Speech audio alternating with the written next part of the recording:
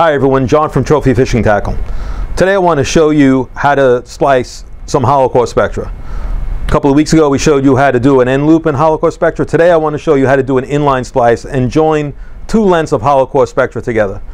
One of the big advantages of hollow core spectra is that should you damage your spectra, instead of having to replace the entire spool of spectra, we can just replace the top shot and add on what you may have lost or damaged. So today we're going to be using some 130 pound Western Filament hollow core spectra.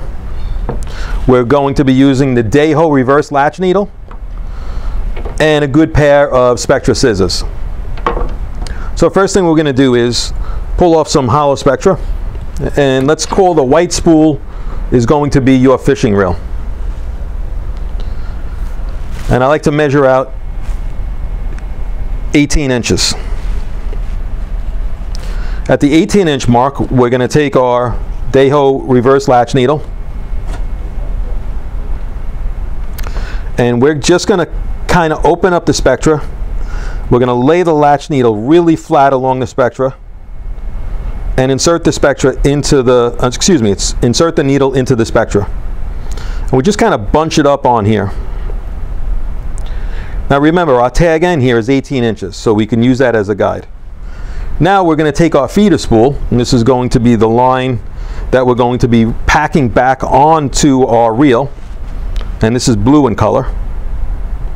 We open up the latch close the latch and now we're going to pull the blue spectra into the white spectra or the spectra from the feeder spool onto our fishing reel. We just keep on sliding on. And good way to check the length of the splice is just flip it over and you'll see we're not quite there. So the tag end is 18 inches. We just got to go down like another three inches or so. And just to check it again to be on point, you can see we're right there at the 18 inch mark. So at the 18 inch mark, what we're going to do is take the needle, pop it out of the side of the spectra.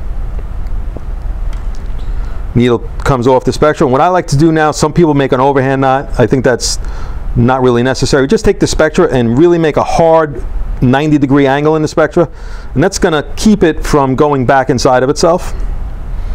Now to finish the splice we have the two ends. This is the tag end, the white is the end that would be coming off our fishing reel and this is the blue is our feeder line coming off our spool that we're going to use to refill the fishing reel. This is real key here now. What we're going to do is we're going to pull back the white spectra or the spectra coming off your fishing reel. We're going to just pull it back about a quarter of an inch or so. We're then going to take our reverse latch needle and we're going to insert it into the blue spectra or the feeder spool that we're using to fill our reel back up.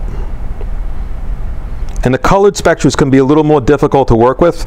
They're not dyed, they're painted kind of with a coating and sometimes the needle can be rough to go in. A trick is just take the, the spectra, kind of run it through your mouth like that and it, it usually will go in easier. And again, keep on bunching it up, up on the needle. And now what we're going to do is take the tag end, the white line, the line that is attached to our fishing reel, put it in the reverse latch needle, and we're going to start working it back into the blue spectra from our feeder spool.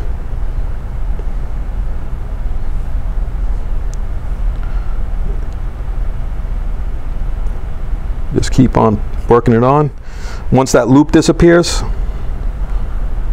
we're going to be good to go with the splice.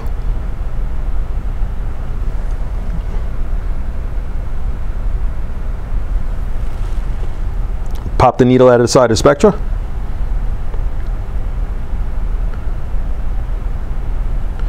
And what we're going to do now is we're going to grab both ends of the spectra. So remember, I, I folded over that blue spectra a while ago and I have the white spectra in my hands. We're kind of just going to squish the spectra towards each other in the center. Okay, and then you just snap it. And once I snap it, I buried the spectra inside of itself where we came in and out. And this is this little neck down you see right here. This really, really small area. Once again, just pull the spectra back over itself. It disappears. Pull the spectra back the other way.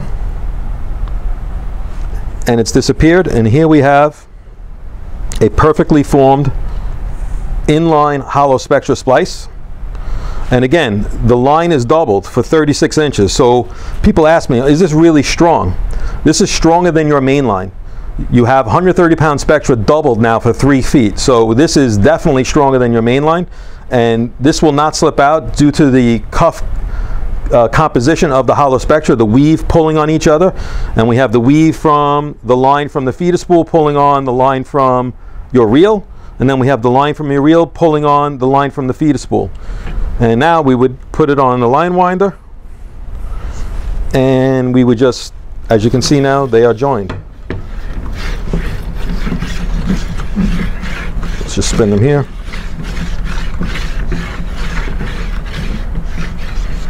And there you go. So again, that's a real simple task. If you're fishing with hollow core spectra, as we think everybody fishing offshore these days should be fishing with hollow core spectra, this is one of those things you need to know. It just makes your fishing experience more enjoyable. It allows you to fix damaged equipment when you're offshore.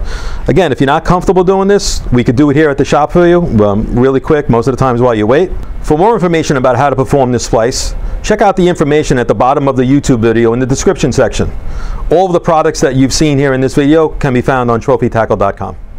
For product links and more information, check out the video's description on YouTube. And please subscribe to our YouTube channel. And remember to click on the settings, then check Send Me Updates, and we will keep you up to date with the latest tips, products, and fishing reports.